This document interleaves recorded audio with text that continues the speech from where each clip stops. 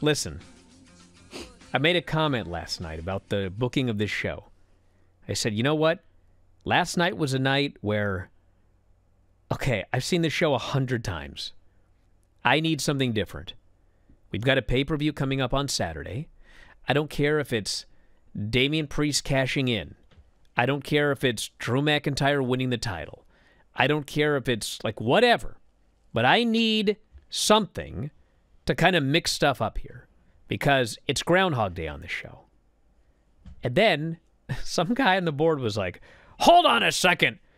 Well, we've never seen Dom and Ricochet before. Oh well, oh. We are we really at that point where yeah. we have to literally explain that there is a an actual new man? Bros, I get it, nerds. S- My point is, it's the same show. The Judgment Day comes out. They say they run Raw. Then some combination of Cody or Sami or whoever comes out. We set up a main event for later. The Judgment Day has dissension throughout the show. Priest has to say, you know, there's no leader, but then Rhea has to act like the leader. Then we got some random matches here. I got that they're not the exact same matches. I got that they didn't do the exact same lineup. But you know what? You know what? What's up? Well, they've got the pay per view coming up, and they added a pre show match to Crown Jewel. And as God is my witness, and it is, this is not because I have concussion issues, this is not because I'm old, but literally the match that they announced for the pre show was Sami Zayn and JD McDonagh. And when I saw that, I swear to God, my first thought is, did I not just watch that exact same match on this show? Yeah, but not in Saudi Arabia. And the answer is, I didn't. No. But I saw some combination of Sami's crew versus Judgment Day for the 15th straight show. And, like, I got it. I got it. Now, let's uh let's move on with this. Let's change things up a little bit.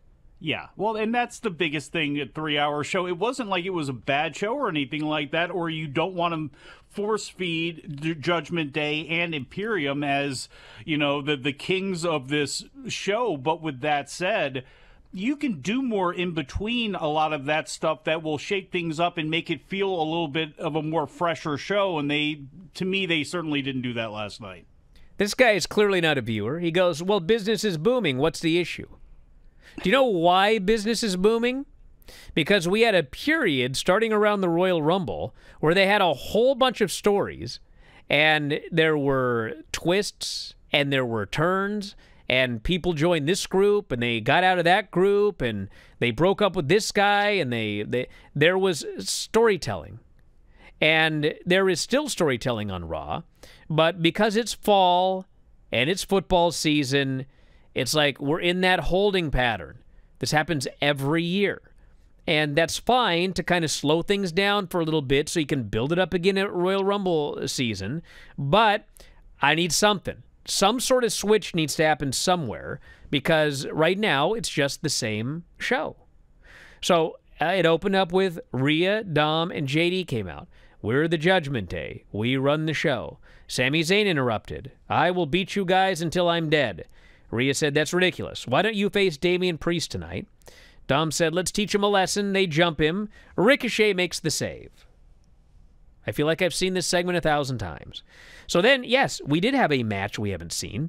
It was Dom versus Ricochet. But you know what the finish was to this match we haven't seen? What's the finish we've seen to every match in the last eight weeks? Mommy! Out comes Rhea.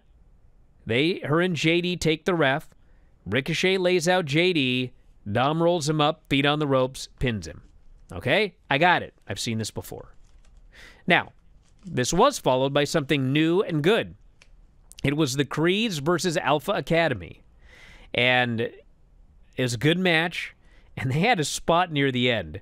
The only the only negative to this match is man, I was so excited to see Brutus and Otis in there together, and man, they were lost. They got totally lost for about 30 seconds, and then they just got out of there.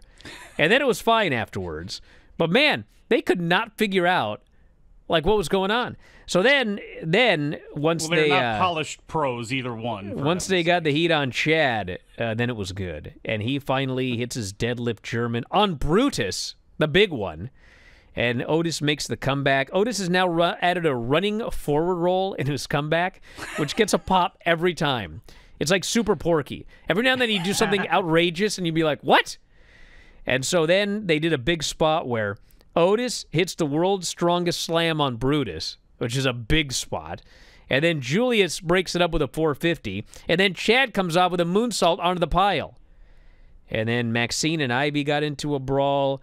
Julius got a blind tag. Julius gets Otis on his shoulders, walks backwards. Brutus hits the Brutus bomb, and they pin him clean. It was a great debut. Uh, they basically said it was a call up. All four guys shook hands afterwards. This was good. When Otis holds his arm straight down, do they even reach his belly button? It doesn't look like it. Well, because they go out. He's a gigantic. I mean, just he's like a, a crocodile or something. There, just with these little arms, that huge body. And you know what? Super Porky had an MMA fight. I heard you and Dave talking about Deontay Wilder. Book it. Otis against Deontay Wilder MMA contest. Let's go. Then we had Miz TV with uh, Gunther, and first Kaiser and Vinci come out and they make fun of Miz, and Miz makes fun of them, and then Gunther comes out, and he says, "This ring is sacred to me. Everything you do here is beneath me. You are beneath me. I don't respect you." And then Miz makes fun of him for not being entertaining, and Gunther says, "Listen, when the bell rings, when it gets serious, the only thing that matters is how good of a wrestler you are. That's why you're running a talk show." Well, now Miz is mad. You know what Miz You've does when that. he's mad? He reads his stupid resume. Gunther's laughing as he's rattling off these things that he did a decade ago. And Miz says, I'm going to take that belt from you. And Gunther says, Are you serious? That's when the fans chanted, kick his ass. And then Kaiser starts destroying pumpkins. They get into a brawl, and uh, Miz gets beaten down. Miz then goes and cries his noted to Adam Pearce. Pearce says, Why would I give you a title match? Miz starts his stupid resume again. Pearce says, Please stop. I got someone else I'm talking to. In walks Bronson Reed. Miz goes, All right, fine. But I'm going to take that belt from Gunther. So next week there's a four way. I don't know Dear if God. people just try to, to crack Gunther or if he has just incorporated blowing people off, like starting to laugh a little bit into, you know, Well, just that's the to kind of- only obvious thing that Gunther would do when The Miz is standing in front of you acting like a tough guy and reading off his resume. But he's done that a couple of times during promos where he's kind of laughed off a Gable or laughed off somebody that was He talking should. to I love it. But that's the thing is he doesn't overdo it. So whether they're making him crack or not, it's just the whole presentation and how he carries himself during it is fantastic and helpful to his character. We had DIY versus Vinci and Kaiser, and the match was fine, but the big difference is that when DIY was in NXT, it was like that was their act, and the fans loved them, and this is a you know, a WWE crowd. And, you know, they got into the babyface and everything, but it was not like the old school DIY reaction. And they hit their double knee, they got the pin on poor Vinci, and Ludwig was disgusted. Save us, Dexter Lumis. We had Candice LeRae, who is not Candice Michelle, against Xia Li. And She's yelling uh, at Molina at a conference right now. so they they want to get over the knockout finish, but they they didn't do it. They did it better than they would have like two years ago, but still, it was like Xia Li hit her with a move. Candice went out. The referee just holds Xia Li back, which is like you would never do that. Is it? Are you stopping it or not? And then she lets it go, even though Candice is unconscious. Xia tries to lift her, but Candice is dead weight. So the referee still won't stop. She's like, hold on, I got to make sure that she's living.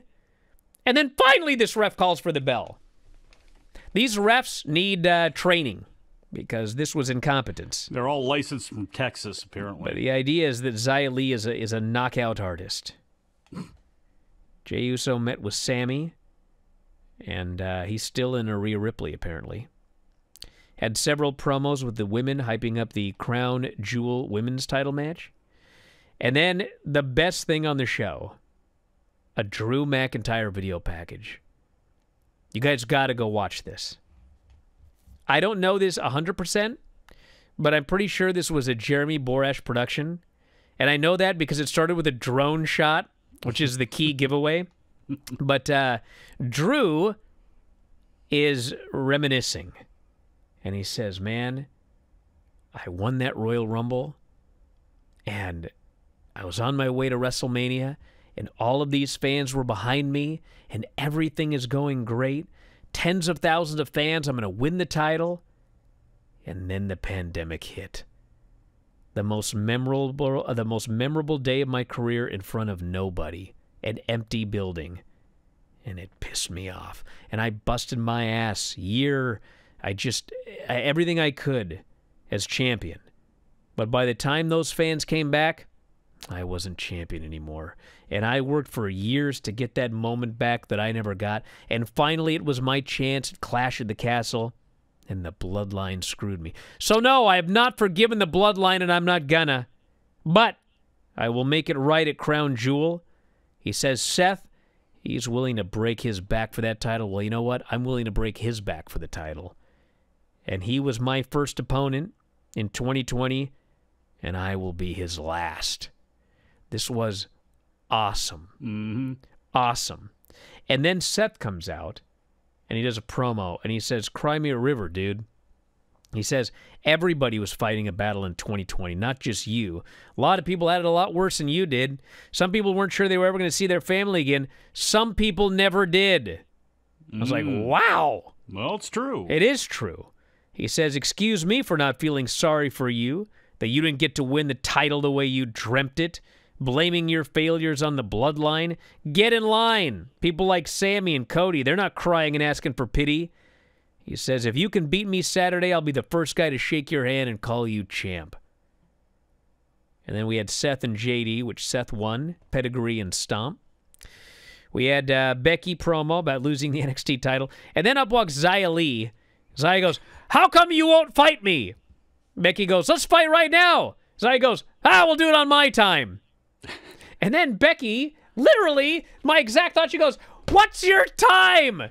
You've been crying for three weeks. I've offered you a fight time after time, and you won't take it. So at some point, years from now, we might get Xia Li and Becky. Then we had a, God, that collision match with the Karushita and uh, Abaddon. Abaddon was like, it was terrible. And at the time, I said, you know, I, I understand doing holiday matches. I- If you want to do something the WWE does, fine. You just got to do it the same or better. And this was not as good as the two NXT Halloween Havoc matches. Well, now I must apologize because it was miles better than this natty Chelsea trick or street fight. It was all comedy. It was like just wacky. And then uh, Chelsea won. I, I got nothing more to say. It was just like, this was one of those matches where we'll make people not turn the channel because they just can't tear themselves away from this train wreck. That's what this was. What did you think about Piper Niven as Jim Neidhart? She was the highlight of the match by miles. Chelsea as as uh, Jim Neidhart was great, and then Sami beat. Uh, actually, no. We'll talk about the main event after the break. I've run out of steam. Sorry. Observer Live. So the main event was Sami and Damian Priest. You know the gimmick. Judgment Day ran down. Blah blah blah. Jey hit the ring to make the save. Super kick Priest for the DQ. Sucked. This main event sucked. This finish especially. But the post match was really good. So they're jumping down Sami, and the fans know they start chanting for Cody, and uh, and he's limping a little bit, but he comes down to make the save, and we get this giant brawl. And they had the greatest. I mean, say what you will about camera shots. The camera shot of 2023 was when JD saves Priest from the Cross Rhodes on the table. And he throws him over like the timekeeper's table in the crowd. And he's looking over the table. And then he turns around and they zoom right in, boom, on his face as he turns around. And all of a sudden you just see Sammy's mood go, BAM! Right in the face. They throw this poor geek on the table. Cody hits him with the Cross Rhodes, hits him with his second one for good measure. The place was going nuts for this this uh, post match here. So uh, thank God they they ended the show with that because if they would have ended with just that stupid DQ, ugh, I'd have really gone off today. But an excellent, uh, excellent deal setting up all the matches for the pay per view uh, Saturday, which uh, we'll be talking about then. I got to hit uh, cage match to see if JD McDonagh has won a match since he's been up on the main roster or not. I wonder if he gets a victory over Sami Zayn on Saturday.